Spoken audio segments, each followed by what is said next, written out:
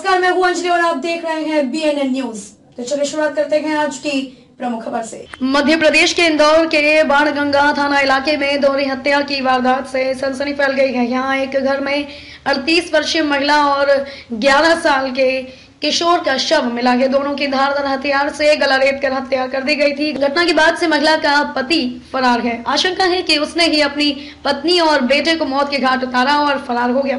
दरअसल महाराष्ट्र के अकोला का रहने वाला कुलदीप लगभग चार दिन पहले अपने परिवार के साथ इंदौर पहुँचा था। वह रोज़गार की तलाश में इंदौर आया था। रोज़गार तलाशने तक अपने दूर और पूर्व के परिचित मंगेश के बाणगंगा स्थित किराए के मकान में ठहरा था। मंगेश निजी कंपनी में काम करता था। आम दिनों की ही तरह वह बुधवार सुबह काम पर गया था।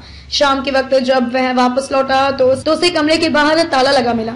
मंगेश ने जब कुलदीप को फ़ोन लगाकर कमरे की चाबी मांगी तो वह अलग अलग बातें करने लगा और मंगेश को मौके से भागने के लिए कहने लगा। मंगेश को उसने हिदायत दी कि जल्द मौके से भाग जाए, वरना मंगेश नहीं माना और पास से चाबी उठाकर जब देखा तो घर के भीतर कुलदीप की पत्नी और उसको बेटे का शव मिला।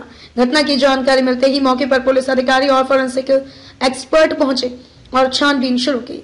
दोनों शव बिस्तर पर ही पड़े थे। प्राथमिक छानबीन में स्पष्ट हुआ कि दोनों को सोते वक्त ही मारा गया, फिर गले पर धारदार हथियार से हमला किया।